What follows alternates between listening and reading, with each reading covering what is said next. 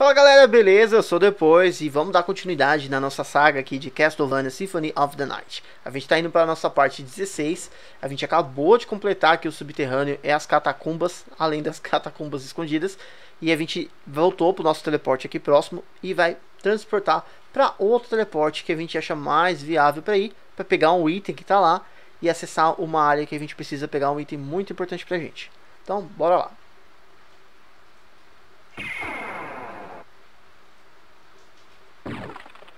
Nope.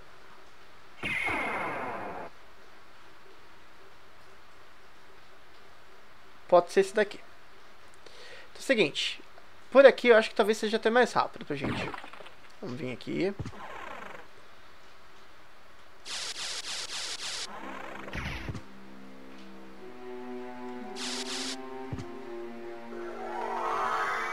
Deixa eu matar esses caras aqui pra não passar correndo que nem louco.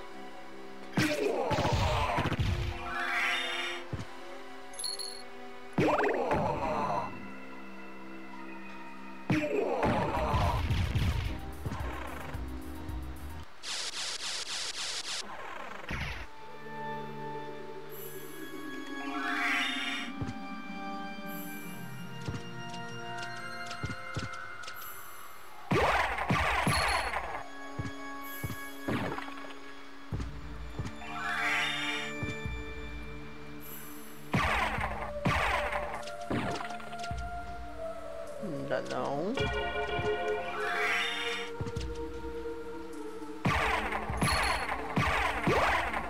E pronto. Aqui. Nessa parte específica aqui onde está piscando. É a parte que a gente não completou. Quando a gente estava aqui, ela tinha espinhos, então sem a armadura que quebra espinhos que a gente pegou no último vídeo, a gente não conseguiria vir aqui. Por mais que tivesse com o morcego e tentasse, sei lá, fazer a neblina, depois a gente ia acabar dançando, porque não ia dar tempo e a gente ia tomar dano.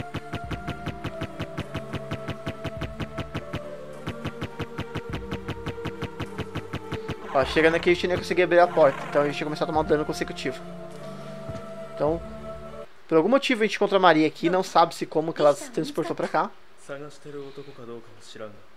Ah, tá falando que tem um Belmonte aqui. Eu sabia onde está ele.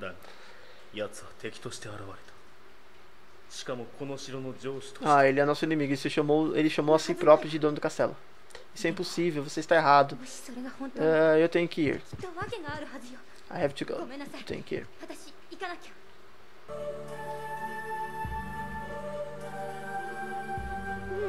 Relaxante. Pronto. Este anel aqui, Silver Ring. Aqui. Esse anel não diz muito por si só. Tá só falando que na inscrição tá escrito na sala. Então, essa questão aqui pra gente, vamos lá. A gente vai precisar voltar lá pra torre do relógio. Porque se a gente for feito ao Richter agora, ainda vai dar na mesma e a gente vai matar ele. Então vamos lá. Opa. Vou aproveitar que a gente tá aqui, já vamos descer, completar o mapa ali.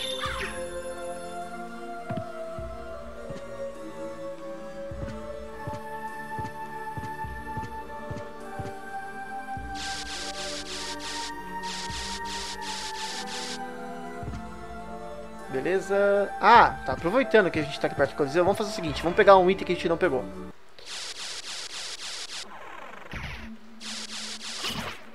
Opa, essa arma não.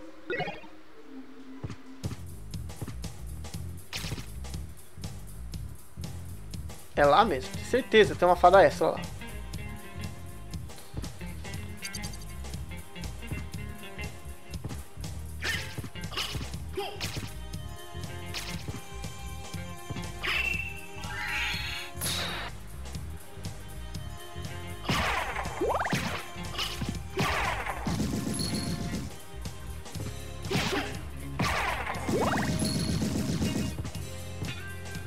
Ó. Essa fada vai ficar bem aqui, ó. Só pra gente entender. Então, beleza, ó. A gente acessou essa área aqui de cima, entrou, e ela vai ter essa coluna aqui pra gente. Então, a gente pega e sobe aqui, ó.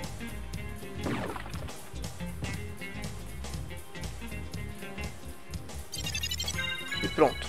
Essa é uma fada secreta que tem no jogo. Secreta entre aspas, né? Então a gente tem aqui, ó.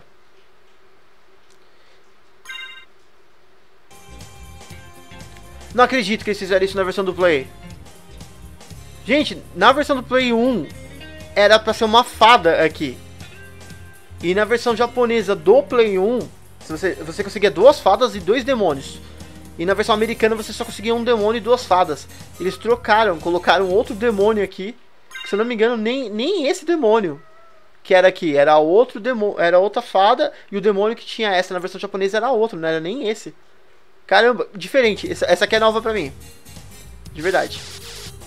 Então beleza, a gente pegou o que tinha que pegar aqui no Coliseu e vamos cair fora. Bom, aqui a gente vai ser na área do primeiro boss, tá? Então, de boa. É bom que a gente já pega um item novo lá, uma habilidade nova.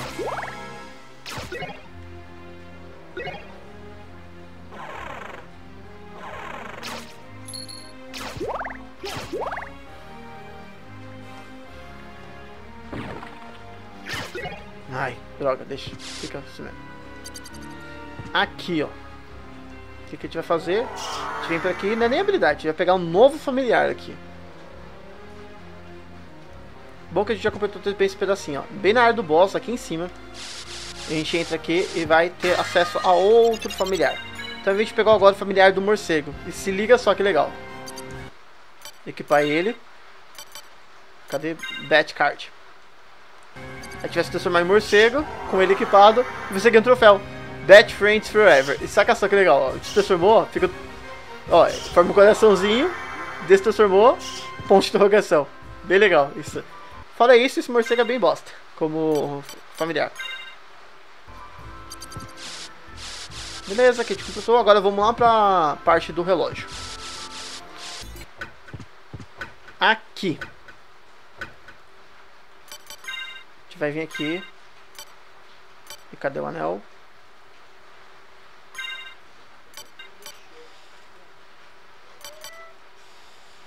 Hum.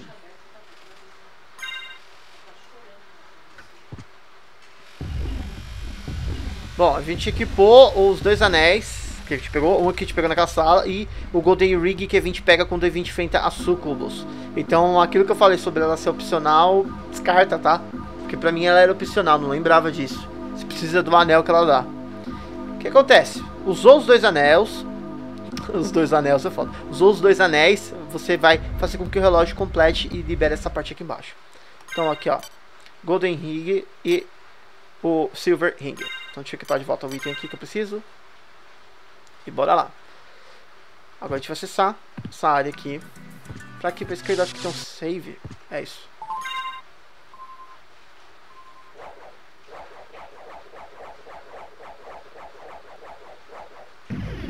Beleza.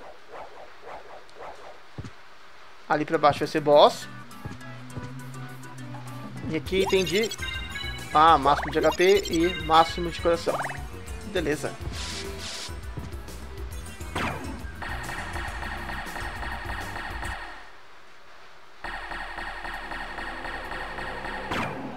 Vamos. Que é basicamente CDC, tá? vou te dar a volta também depois que a gente completa. E a gente vai encontrar um inimigo específico aqui dentro. Não, não é Maria. やっぱりあなたの言った通りだったやはりベルモンドだったか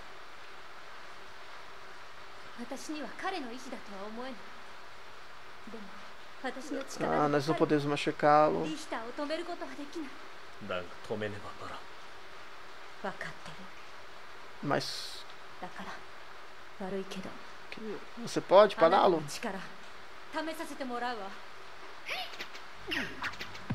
Ai. Ué? Eu juro que eu não me lembrava de enfeitar Maria nessa parte. Gente, eu tô ficando louco. Era pra vir enfeitar o shaft aqui. A não ser que eu tenha feito cagada.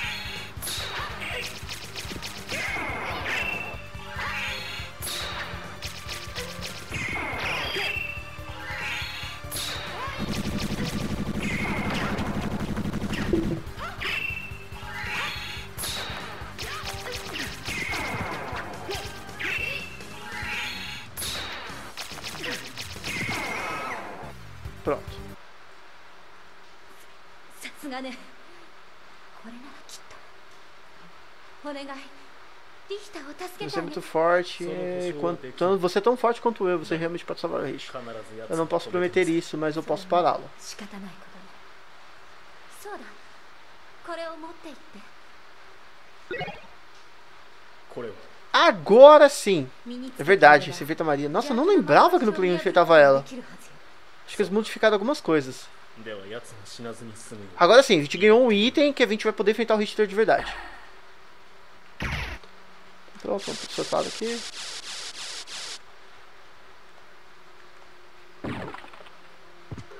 Mas eu ainda juro que eu não lembrava que a gente enfrentava a Maria.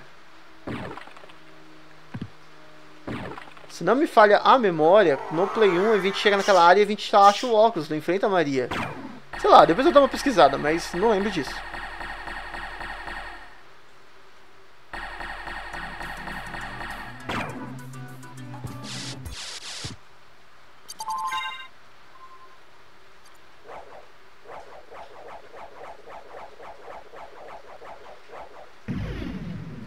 Beleza, e com isso a gente encerra a nossa parte 16 por aqui.